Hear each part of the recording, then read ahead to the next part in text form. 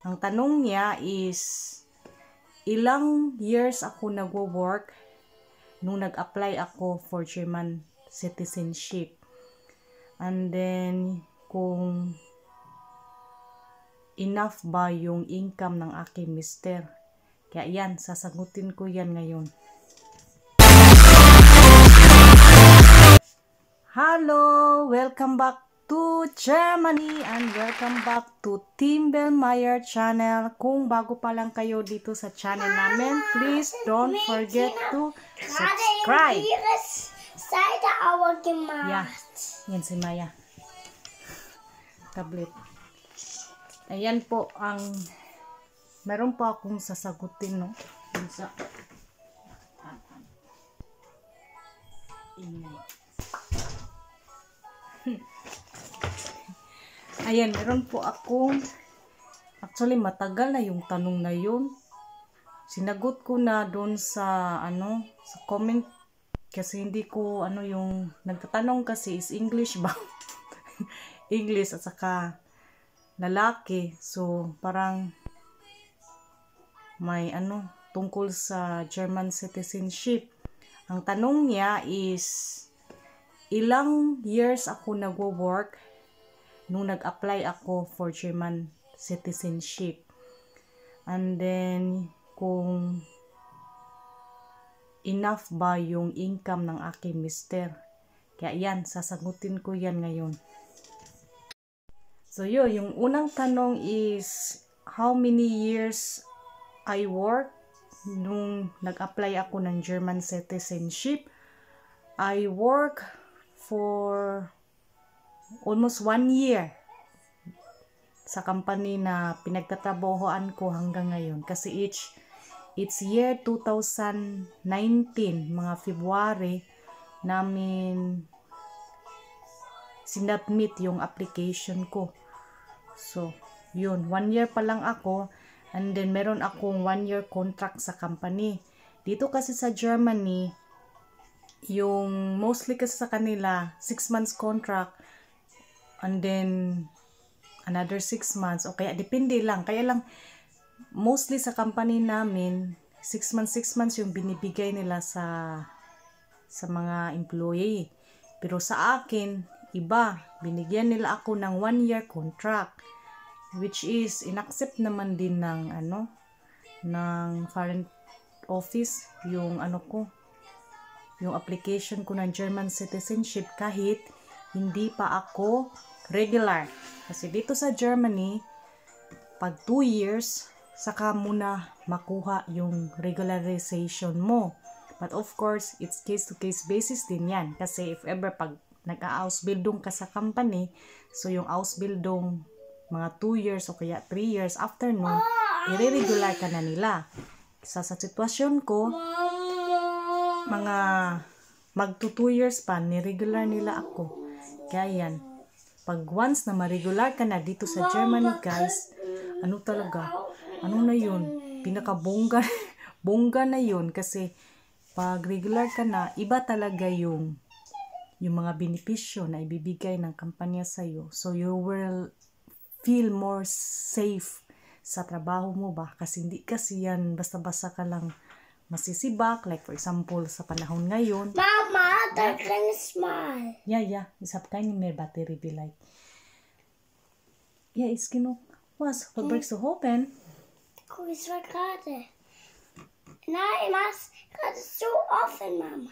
Und dann wieder zu. Mama.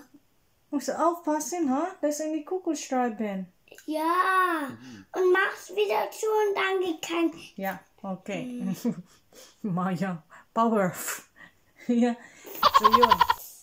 And then, yung tinanong din Das is... drinne. Yeah. And then, ang pangalawang aus der Tage. komentaryo. Uy, kami sino. Der Tage. Yeah, come, come here, Boots. Last mama first. Der Tage. Yeah, yeah. Yun, yung pangalawang tanong is kung about sa sa kita ba? Ano, ano ko lang nga, itagalog ko na lang. About sa kita, tinanong din kung kung sapat lang ba yung kita ng mister ko. actually, it's not about kita ng mister ko. Siguro, it's about the whole household. Alam mo yun kung whole household, whole family ba? Kasi, nasa ano kasi yan, sa requirements na dapat ilagay mo yung lahat-lahat kung ano meron kayo. Sa mister ko, sa akin, at saka including pati sa mga bata, guys, ini-include namin at saka kung ano yung mga mga naipon namin, saka in-include din namin yung mga sa mga bata din. Kasi yung mga anak ko, ito si Manuel at saka Maya, mga baby pa sila, meron talaga kaming binibigay sa kanila every month. Para at least ba, para in future sa mga bata. So, ganun yun. So, kahit yung child allowance, ano na din yun, masasabi nating ah, income na din yan ng pamilya. Kaya asali na talaga yun sa ano, sa magiging supporting documents mo. Kaya yun ang ginawa namin. Hindi ko talaga alam kung magkano talaga ang sapat or enough na masasabi natin na income dito. Kasi that time kasi 2019 hindi na kasi nag-work yung hindi na nagtatrabaho yung mister ko ba pero meron na siyang matatanggap na monthly.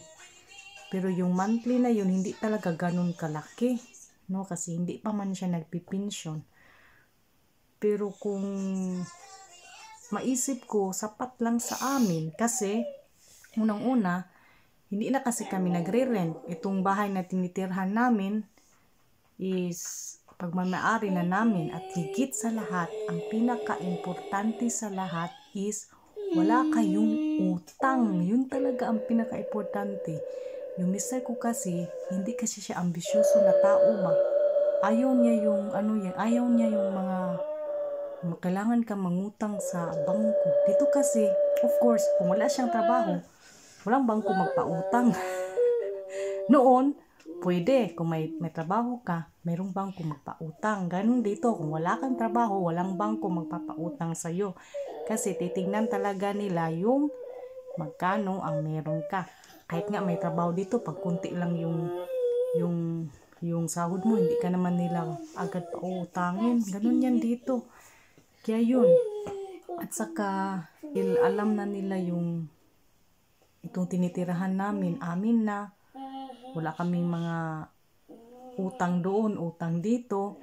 Kaya siguro, ganun ka bilis na na-approve yung yung application ko. At saka nakita din naman nila kasi na meron talagang pumapasok na kita ang pamilya namin. Kasi may time naman kasi na yung mister ko mayroong mga ginagawa ba.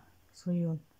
Kasi ganun yan dito guys no. Pag ikaw may negosyante ka, pag negosyante ka at mayroon ka pang running na business, yung mga bangko talaga, mabilis yan mag ano, mag, magpautang sa'yo.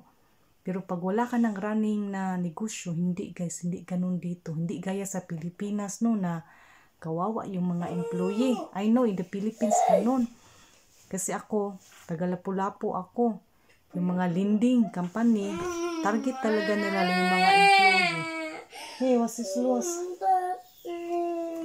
What's loss? Musmak, wait, shit, sis. Tut mir leid. Jag vill inte ha den koken. Ja, ein, ein bisschen warten. Du hast viel gedruckt. Schauen. Was hast du gemacht? Komm hier. Hier, du musst was. Klein. Ah, was hast Maya gemacht? Ui. Da. Da, oh. Baje. Ja, du hast viel gedruckt. Na, Mama, Okay. du, du hast gerade da oben wieder geguckt. Yun, balik tayo dun sa linding. Dun kasi sa Pilipinas, di ba? Sa amin, sa Lapu-Lapu, may mga company ba, yung mayroon kami tinatawag na Mactan, Economic, yung basta. Doon marami mga import and export na company. Kaya yun ang target ng mga lending company guys, na yung mga employee. Kasi nga, sa atin kasi, pag bangko, Ausgegangen. para lang yan sa mayayaman. Yun talagang malaki ang kita. Pero sa mga employee, ang ating malalapitan talaga is yung mga lending company. Kaya yung mga lending company, di ba? Pag mautang ka, ibibigay mo yung ATM. Yun guys, kawawa yung mga employee kasi may time talaga na wala na silang maano, wala na silang sahod pa. Kasi yung iba, kukunin kasi ng ano, ng lending company. Bakit ko alam yun, no? Of course kasi, nung, nung time kasi na elementary pa ako, yung tiyo ko kasi, no? Yung tiyo ko, yung uncle ko, at saka yung papa ko, nagpapalinding kasi sila. Pero nung time na yon cash ba? Walang ano, wala pa kasing ATM that time. Kaya, pag nagpapalinding ka, that time, pahirapan talaga guys. Pahirapan yung, yung pag-ano ba, ng pera. Yung maningil ka ba. Pahirapan talaga. Kasi may time, bilis lang sabihin ng nangungutang, oy wala akong ano pala, walang pera. O kaya yung nangungutang is, mm, ano ba, magtago-tago sa iyo. Kaya ganun. Kaya hindi talaga madali. Kaya yung sa Sunday, Sunday ng papa ko maniningil ng mga kasamahan niya sa trabaho. Kaya doon sa nagtatrabaho sa kung saan din nagtatrabaho yung papa ko at pati din yung, yung tiyo ko. Kaya hindi talaga ganun kadali yung mga ganyan.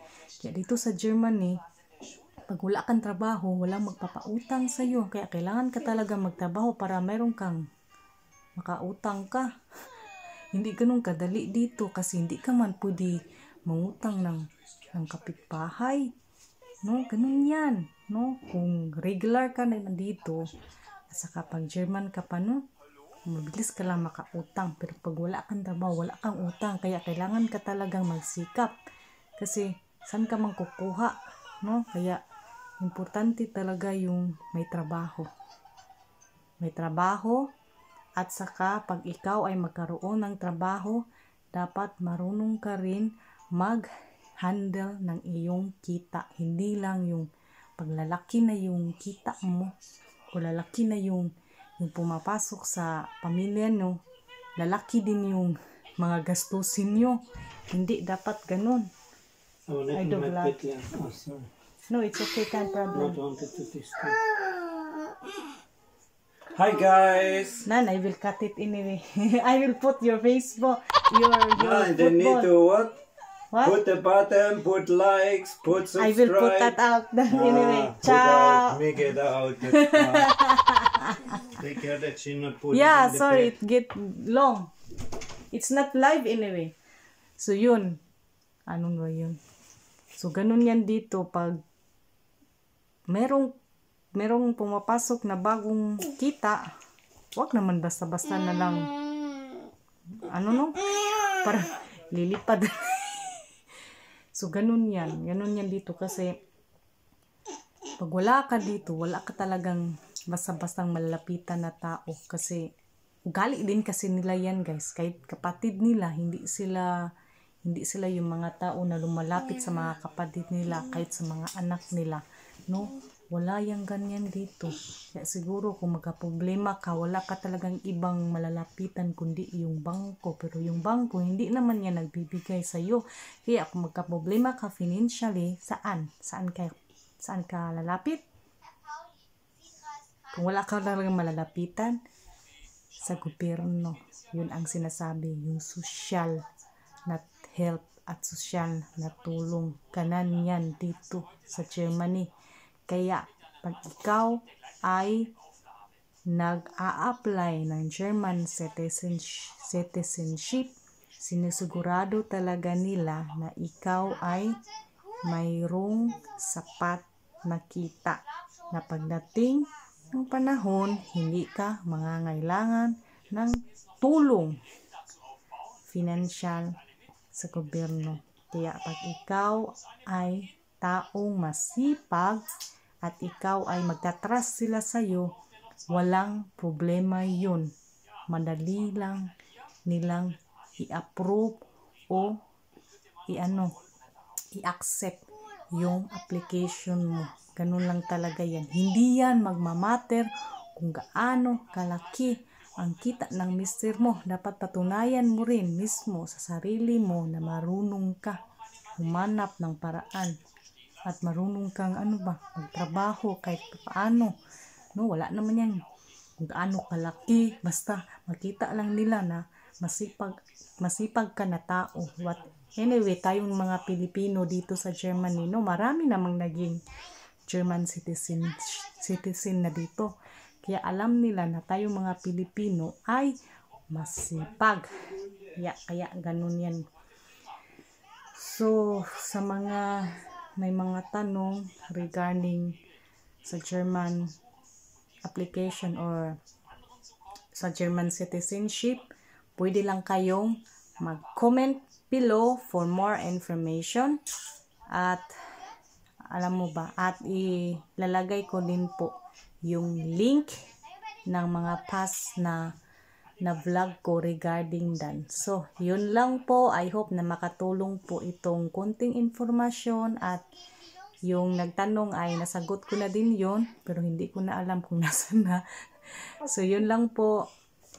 Please don't forget to click subscribe and comment lang kayo at panagustuhan nyo, like at i-share nyo po sa inyong mga kakilala na may planong mag-apply ng German citizenship. So, yun lang po. Cheers! Bye-bye! Till next time! Hangtod sa sunod!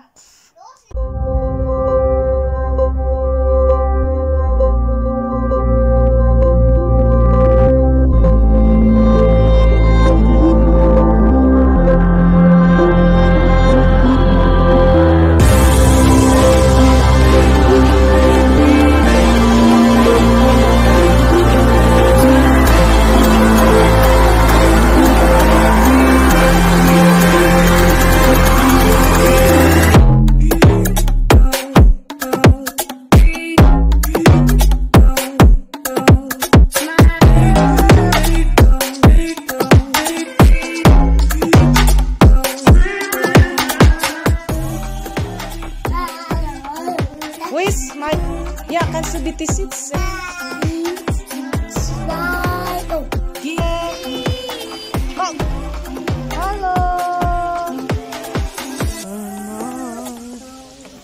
we will go my out. We will go home. Yeah, they talk other language. I also talk other language. This is